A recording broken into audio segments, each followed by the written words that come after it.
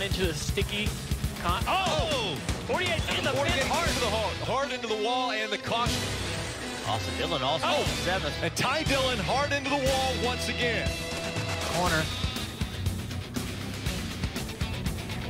Then he got loose, corrects the car into the side of Austin. Or, I'm sorry, A- Alex. Alex locks it all up. Hard in the outside wall. A Big run by Alex Bowman. and Harvick's into the wall. Harvick tags the outside wall. Hold on to it there. Hang on to it. Hang on to it. Hang on to it. quick. Get out turn out. Get it spun around here if you can. A little bit of contact right to the left rear quarter panel. Martin overcorrects the car. Knocks the Whoa, and he goes down. The 18 of Kyle Busch is into the wall. It was the 8 of was going down. comes around very fast. You have to imagine there had to have been a tire issue. The right rear tire is down right there. Back lap, a bump. Doesn't that look like a bump to you, not a right rear tire issue? I don't know. I couldn't win. like to get another shot and see Going into the wall, the 9 of Chase Elliott. Out of Yeah, turn right four, here. Chase Elliott into the wall. You see the fire coming out the right side.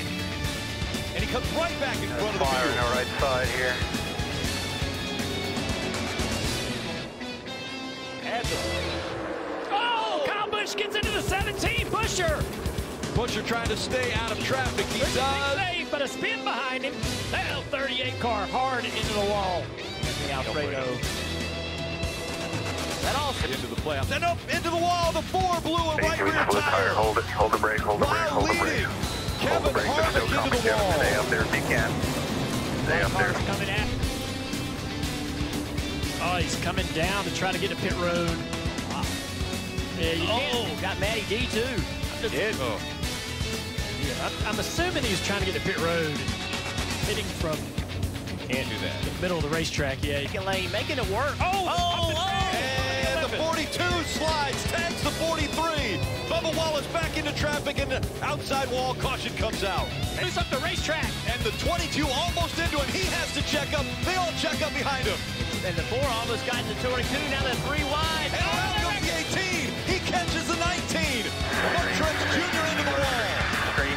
going. They're wrecking behind it. Pick it up a little bit. Contact. Cole. Custer involved. The highest of highs. Oh, we got a spin on the back straightaway. Big crash. 42 involved. 47. 48's back there. Bubba Wallace in the 23. How about 18? How about Kyle Busch? Kyle Busch slowly gets through it. Eight. Six. Still good. Six. Did he save enough fuel? Through three and four He has done it. He saved enough fuel. Kyle Busch wins at Texas. 22. Pushing that eight car back up to the three. He wants to take away the draft from the rest of the crew, from everybody behind him. His son, Ace Bourne, about a month ago, he'll be cheering for dad. He's going to win in Texas. Austin Dillon gets the win. Locks him in to the championship four in Phoenix. Gives his team two weeks to work on that car. Kyle Larson, a dominant performance. He leads 256 laps, and he'll win at Texas. Phoenix, run for a title. Good job. for nothing is guaranteed. Even with a 1.1 second lead, he goes to the bottom of the racetrack. Through three and four for the final time and looking for career win number three. It's going to come at Texas. Tyler Reddick wins in the Lone Star State. He just wanted to continue the streak. Can't go back and start over. 15 years. And he's got enough fuel to do a burnout. The driver that has so much familiarity with victory lane.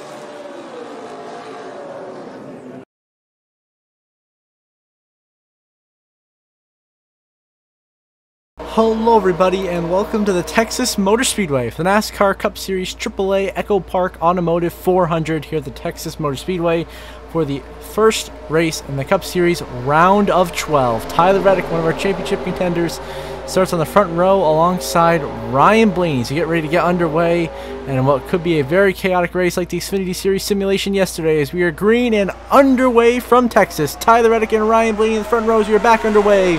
Who is it going to be clinching their spots to the round of eight? Or we have a new winner like Joey Logano who's going to go three wide in the inside lane for the lead. Here comes Logano. Him and Reddick and Blaney are three wide. They're four wide behind them with the 24. William Byron four wide. There's going to be some contact into the wall. Goes to 24. They're crashing down the backstretch. Byron, Haley spinning in front of the pack. Briscoe is involved involved. Chastain. I see that's Preece in the back here. Allmendinger, McLeod. Ty Gibbs collects damage. The big one. Uh, once again, strikes on lap one here in Texas. You see William Byron in front of everybody. Harvick, the four. Big damage. He hits the bumper of William Byron. Significant damage sustained to Kevin Harvick. You see some uh, full speed here. Byron gets turned head on the outside wall by Haley and Allmendinger, and everyone else back here is just collateral damage. How about the drop back there by the 48 and the 20, getting slowed down and avoiding, but big damage to Ryan Preece, number 41. Ty Gibbs damage in that 54, and oh, there's one there. We're gonna get up here. The front stretch. Erik Jones up in the air. The Hocevar as well. Suarez, Cindric. Haley, another huge crash racing back to the line. Both legacy cars destroys. You see Hocevar turn a hard Erik Jones bumper up in the air, lands on Daniel Suarez.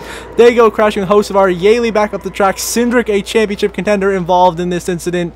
And the carnage continues to erupt here at Texas as your race leaders Joey Logano. Now back to the last lap of coming to the last lap of stage one. It is Kyle Larson, the five leading, has been after that huge crashes on the opening laps, been pretty much all calm. As back to the line, Kyle Larson looks to get his, uh, solid stage win this season, be his third stage win of the year. Of course, your most recent race winner went out and won the Bristol Night Race in our last episode. Unfortunately, he missed the playoffs, so that did not get him into this round where we'd have a chance to get to the round of eight and try to defend a championship four appearance. But no, he missed the playoffs, but he still got that win in the Bristol Night Race, something he wanted to check off of his list for the second time in his career. But back to the start finish line, Kyle Larson is going to dominate and win stage one here in Texas. The runner-up in the stage is going to be Ricky Stenhouse Jr. having a tremendous run here in second. Props to Ricky. He's going to get nine stage points. Then it is going to be Joey Logano, Tyler Reddick, Austin Dillon, Denny Hamlin, Justin Haley, Zane Smith, Ty Dillon, and Ty Gibbs, the top 10 in stage one. What a weird top 10 as Kyle Larson is your stage one winner. Now back back at it here in stage two, Ricky Stenhouse Jr. is now cycled out to be your leader. He's got three lap cars in front of him. Allmendinger, McLeod, and Gilliland trying to hold him off as he got lap cars all in the bottom lane. This could create another chaotic restart. Of course, the start of this race, we saw a huge, huge crash it's been pretty calm since then. But you never know when a big one's going to break out, like how Cindric almost hooks Truex down the back straightaway and causes a big crash. Oh, what a save. That could have been huge for a lot of guys back here that are contenders in these playoffs as we work our way around. Three and four, three wide behind us. There's going to be almost counting. They all hang on to it. We get a clean lap under green, but three wide. Both Interstate Batteries playoff cars of Bell and Gibbs side by side racing Chase Elliott back here, the 48, Larson in the 5, Bowman, Busch. They're all back here trying to get positions here late here uh, at the beginning here of stage two, trying to avoid the carnage. And there goes there's 54. Ty Gibbs into the outside wall. The nine of Elliott involved as well. Gibbs hard in the wall. Christopher Bell involved as well. Larson, your stage one winner is collected, and the caution will come out. Another big crash here in Texas for championship contenders. Ty Gibbs, Christopher Bell, and Chase Elliott involved and that is detrimental to Ty Gibbs, who entered this race six points below the cut line, the 12th seed. Could not afford being wrecked. He goes hard on the outside while Elliott gets damaged, in his Bell, uh, Gibbs teammate Christopher Bell also piles into this, who's the number one seed. But luckily he has a big enough cushion where I think he still should be okay, but a big crash here, Texas bringing out the yellow. As at the front of the field, it is Tyler Reddick in the 45 who is now taking the lead. And will lead us back to green once again here on lap number 89. So Reddick leads the way, Ryan Blaney in second, Stenhouse third, Christopher Buescher doing a great job in P4, and then Chastain right now running at your top five. So Reddick and Blaney trying to lock spots in the round with the win, but you never know what can happen back here. We still have a bunch of playoff contenders in the danger zone, as I call it back here. You got the two of Cindric, the 41 Ryan Preece lap cars on the bottom, fighting against lead lap cars at the 48 Bowman. Ty Gibbs, Christopher Bell are still in the lead, lead, lap back, lead lap back here after that incident, but we're three wide, almost four wide here, coming out of four into the wall, contact, we got multiple cars spinning. A big crash has erupted here at Texas, and Ty Gibbs is upside down, barrel rolling down the front straightaway, not barrel rolling, rolling on his lid. Ty Gibbs rolls on his lid, up and over. Big playoff implications. Christopher Bell once again involved in this incident as well. Joey Logano is collected. Chase Elliott is involved. Many, many playoff characters. See, Chase Elliott and Ty Gibbs were way up on the high side of the racetrack. Elliott clips Gibbs gives us ball. He spin down the track right as Zane Smith goes wrecking in front of them into Haley. And then you have cars going everywhere. And then Gibbs gets slammed into the outside wall. Hard hit. And then Chase Briscoe launches Gibbs upside down as he rolls on his lid. And that will make Ty Gibbs DNF from this race and be in a virtually must win to make the next round of the playoffs here after this hard crash at Bristol, including involving his teammate, the 20 of Christopher Bell, and the 9 of Chase Elliott, who's having a rough playoffs but still got through the first round, but is involved in multiple wrecks today. But Ty Gibbs done for the day in Texas after being upside down. As Ty the Reddick is fighting the lap car, Brad Keselowski, who's a championship contender, back to the start finish line.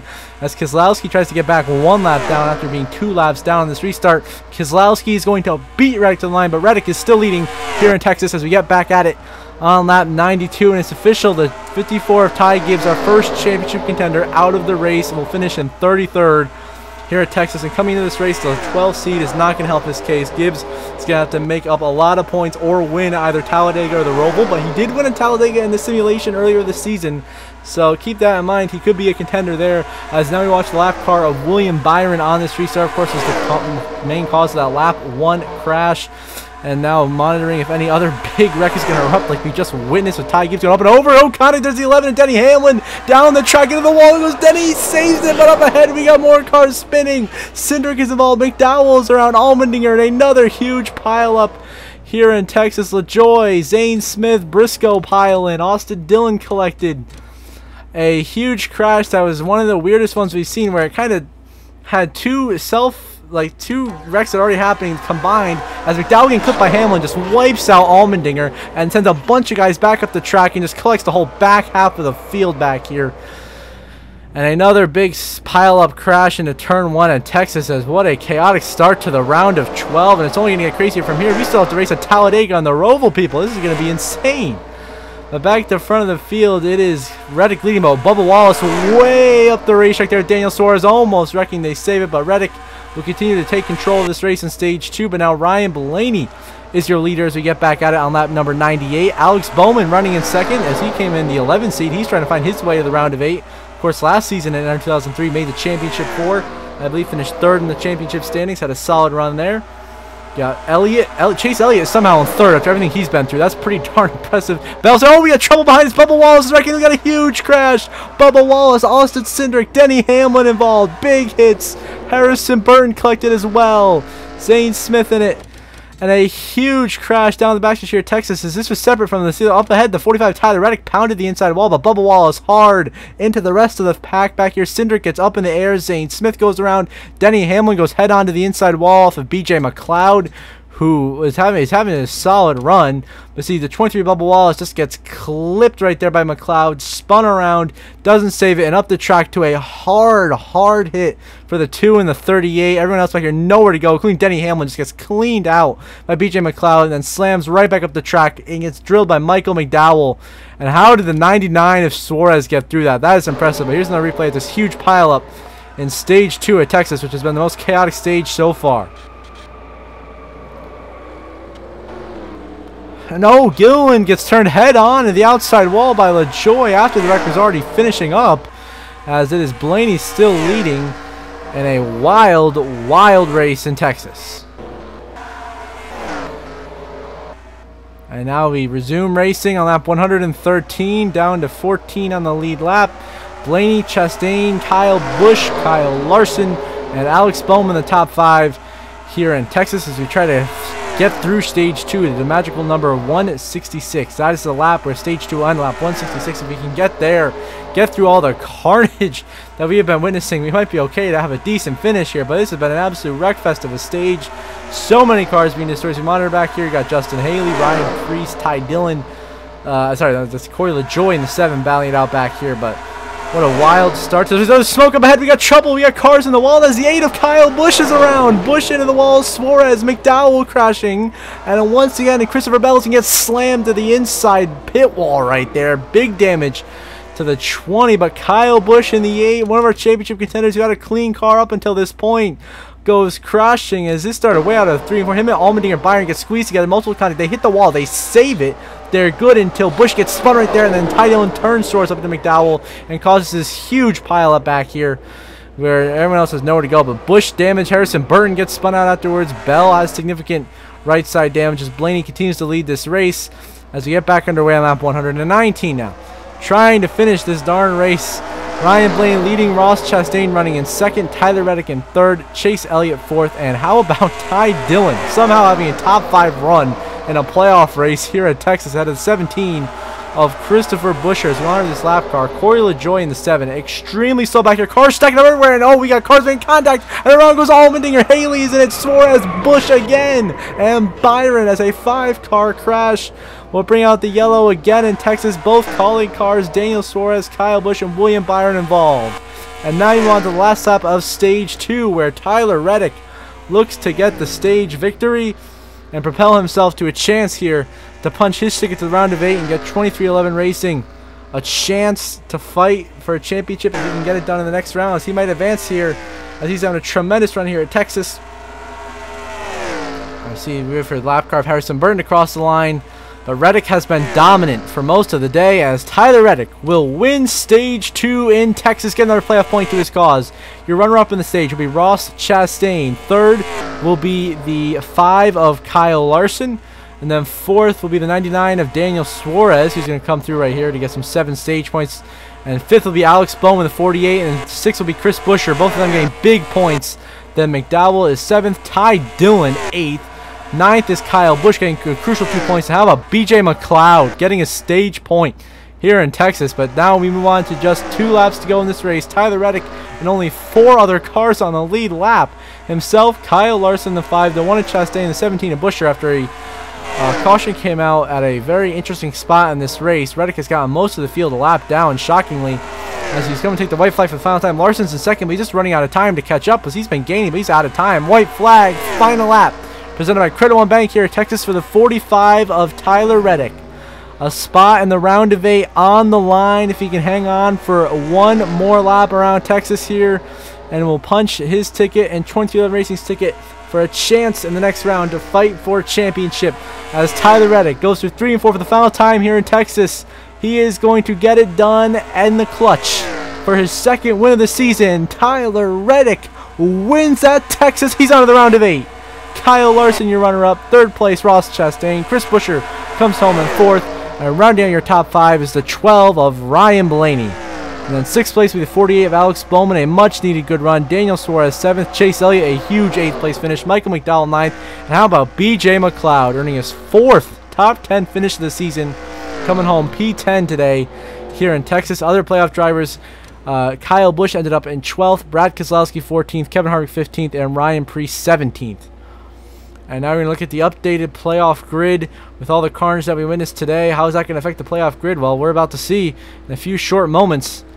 We're going to find out the playoff grid.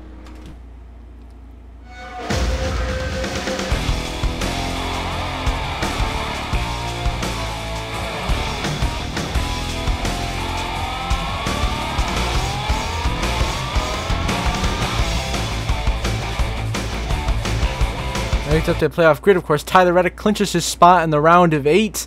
With two more races left in the round of 12 at Talladega and the Charlotte Roval, Kevin Harvick is only 12 points above Kelley in second, so it's still anyone's game here in this round of the playoffs. And Bell and Buescher and Blaney narrowly above the cut line, and Bowman, Elliott, and Kyle Busch, the last three drivers above the cut line right now. Busch six points above Keselowski, who had a good run, but still out by six points. Ryan Preece out by seven. Then Austin Cindric out by 20 points. Pretty much he's have some really good runs to make it. And Ty Gibbs almost already in a must win, out by 30 points heading to Talladega. So until we have the Talladega second race of the round of 12, I hope you all have a good one.